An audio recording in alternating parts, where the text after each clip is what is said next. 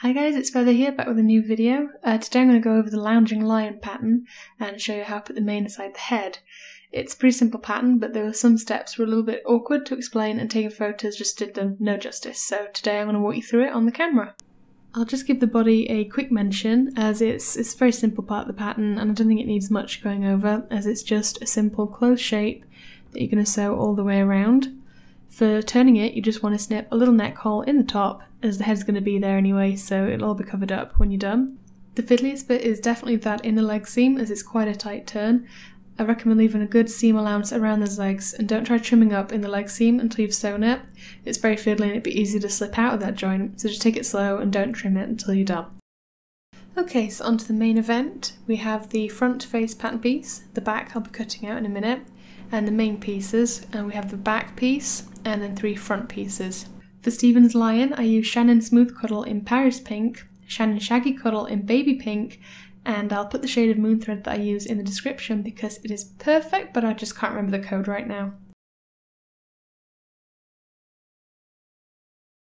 Okay, so let's get on with the making of Lion. I've cut out both my face pieces and I'm going to start by folding the front piece down the middle and I'm going to sew down the forehead and then down the chin. I always mark which side is going to make the centre line on the back of the head so I know which way around they are and I'm going to sew down this curve too.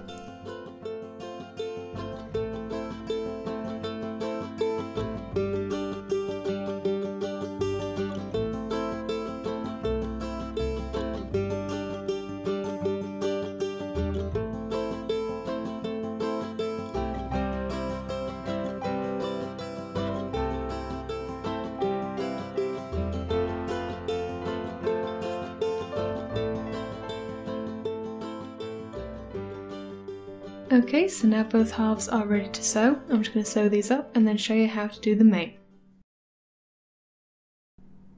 Okay, we're back. For this next step, you just want the front head piece and the three triangle mane pieces.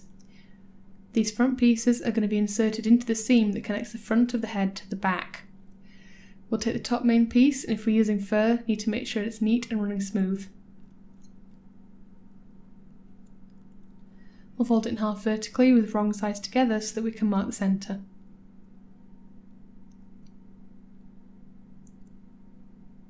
I keep a clean brush in my toolbox for working with fur. We can use it to brush out stray hairs and make sure as little of it as possible is going to get trapped in those seams when we brush it out of the way.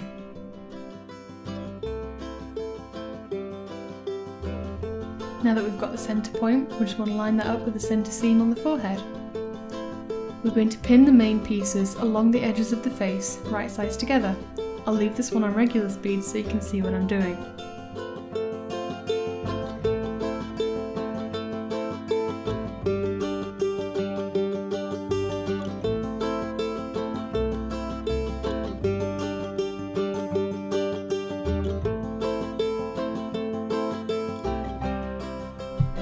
Going to repeat this with the side pieces. I'm overlapping them a little bit just so there's no bald spots on Lion's hairline later.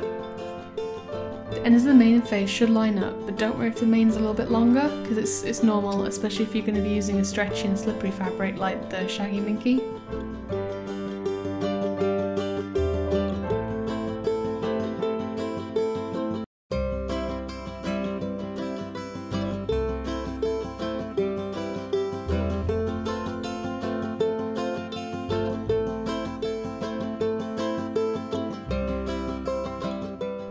We're all pinned. Hopefully this is a lot clearer in the video than it was trying to get photos of this. We're going to stitch around the entire head. For this one I like to use a long stitch so that I can do any unpicking or tease any trapped hair before continuing with the rest of the head. So on to more sewing! Okay, as you can see I've sewn all the way around the head, keeping the stitches visible, and if I turn him round we'll see the mane is starting to take shape.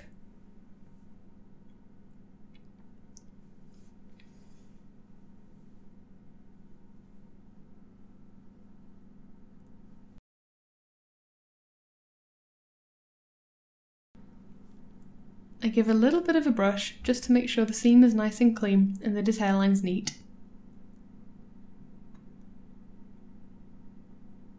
And then I'll smooth it down, ready for the next step. We're going to grab the back of the head now and pin that to the front and sandwich the mane in between. If you've worked with any of my patterns or you've been looking at my Patreon, you'll know that by now I favour starting from the middle.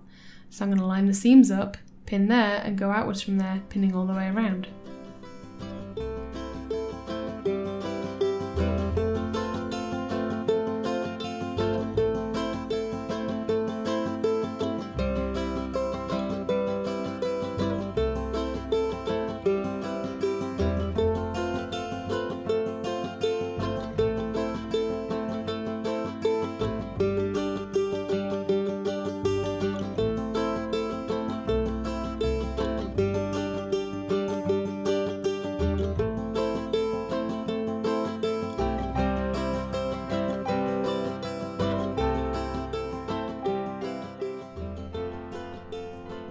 So we're going to follow that first seam all the way around again, stitching down all three layers this time, so I'll see you on the other side.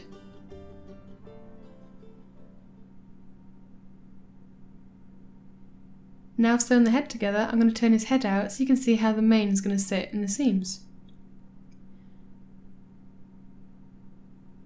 The back of his head will be hidden in the mane, but I'm going to put it in anyway to help shape his head and give it support. The mane tends to look best when it's empty or just lightly stuffed, so Forgoing the back of his head would make his head look weird when you tried to stuff it.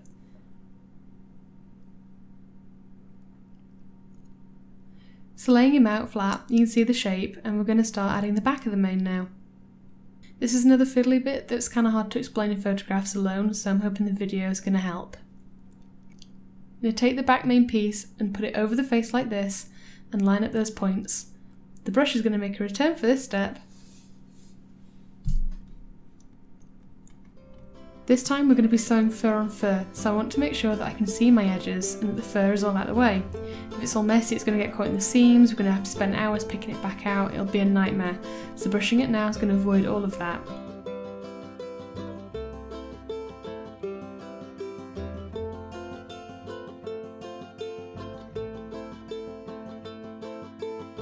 After brushing, I press down on the seams with my fingers and start rolling the fur down out of the way and then I'll repeat that on the matching side.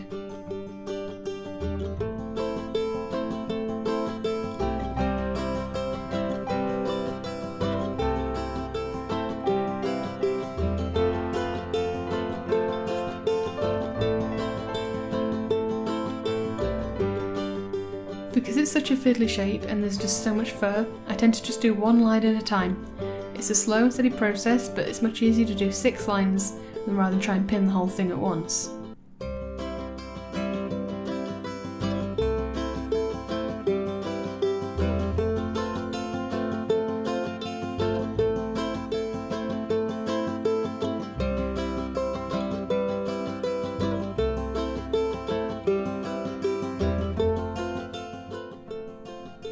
As I go I keep pushing the fur back making sure that it's all as far out away from the seam as I can get it.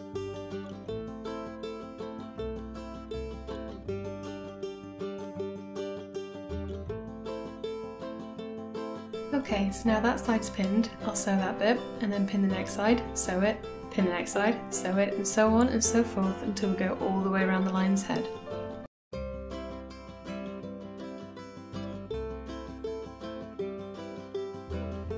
When you do your seams, you might notice that fur is getting trapped in there. What you want to do is take the seam, hold it tightly against your finger, and then take a pin and gently tug out a little tiny bit at a time. I promise you'll look a lot better if you do it.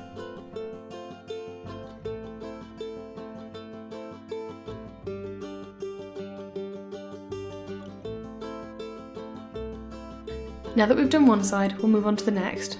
Fold the fur inwards again and push as much of it into the seam as possible.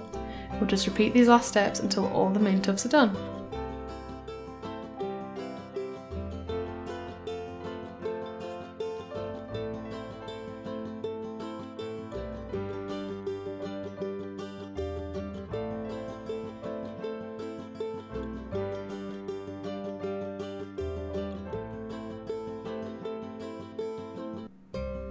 We're all sewn. The head's hiding inside the mane, so let's go and turn it out.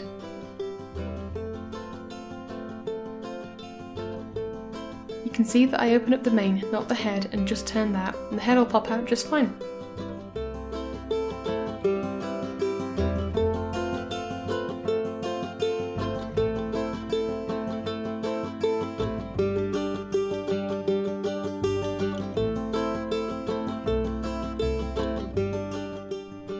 Pretty, ready for the next step.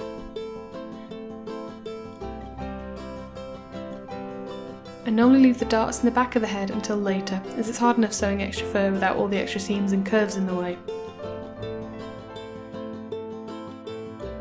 Well that's all for now, there'll be more line related goodness coming at a later date, but this just seemed to be one of those things people had a rough time with.